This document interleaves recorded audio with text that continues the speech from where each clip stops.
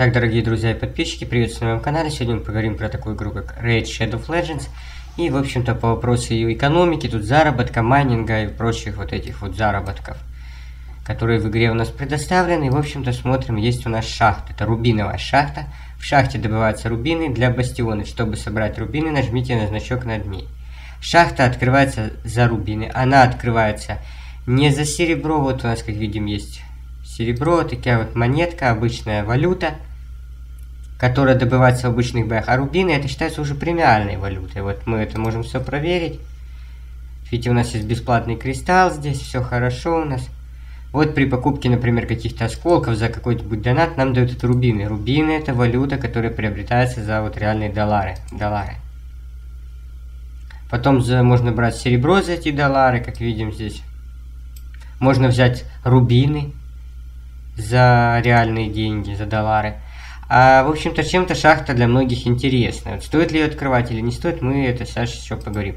Получается, вы платите какую-то сумму денег для того, чтобы открыть, либо долго, очень долго крабите эти рубины, либо они потом по рефералке, по ссылкам вы можете вложить 500 рубинов и открыть эту шахту. И тогда вам будет несколько раз в сутки выдаваться по 5 рубинов, потом вы можете прокачивать эту шахту за рубины для того, чтобы зарабатывать рубины. Это знаете на что похоже? такая ситуация. У вас есть там 1000 долларов, вы хотите за эту 1000 долларов купить себе либо велосипед, либо приобрести за эти деньги себе какой-то крутой смартфон, ну, либо приобрести компьютер. Многие знают, что тот же iPhone стоит 1000 долларов, там неплохой велосипед можно взять за 1000 долларов, и взять за 1000 долларов можно такой игровой компьютер.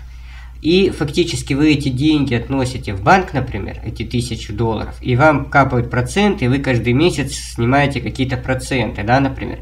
И вы для того, чтобы купить компьютер этот сегодня, вы можете приобрести вот сейчас и сразу, сегодня, да.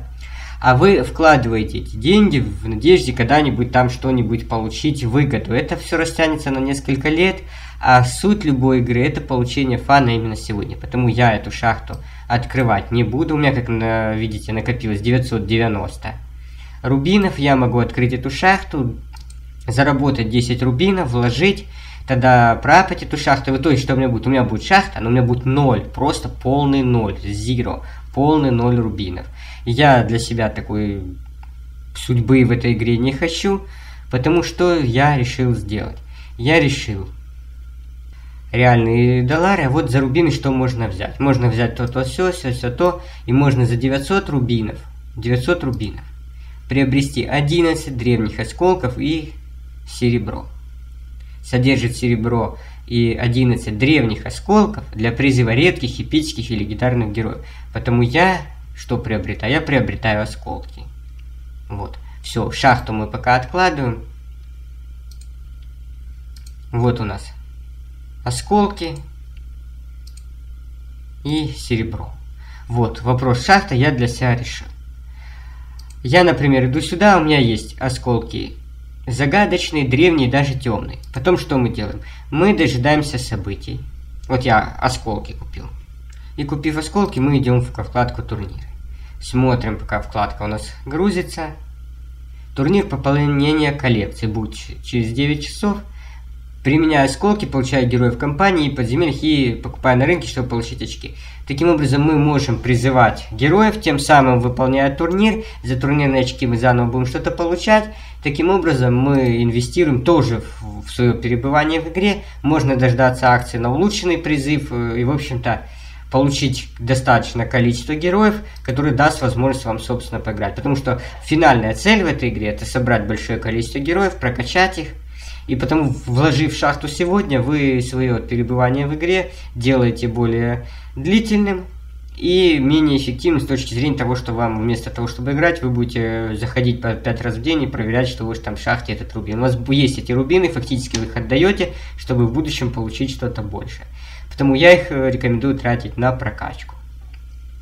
Какая еще возможность есть их потратить? В игре вы идете в таланты, таланты, и закупаете тут по фулу можно взять эти, купить свитки, и вот если у нас там есть 800 рубинов, мы можем по фулу прокачать. Я буду прокачивать их, сами буду фармить их, либо там еще какая-то появится возможность взять эти рубины. Я пока решил э, произвести именно вот с рубинами такой вариант, как купить на них осколки. И дело в том, что я не стал вкладывать э, валюту в этого героя, потому что ЛН считается на самом деле не самым лучшим стартовым героем, про это мы в дальнейшем поговорим. Ну а для того, чтобы не пропускать мои новые видео, вы можете подписаться на канал. Всем спасибо, всем пока.